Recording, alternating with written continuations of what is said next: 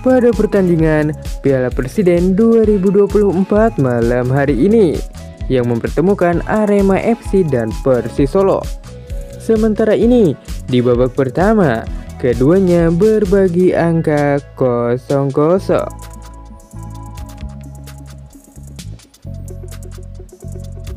Data statistik menyajikan Laskar Sambernyawa Persis Solo mendominasi jalannya pertandingan dengan 57% ball position dan berhasil menciptakan 5 tembakan. Menurut kalian, Arema FC ataukah Persis Solo yang akan menyusul Borneo FC di babak final? Patut kita nantikan ya guys.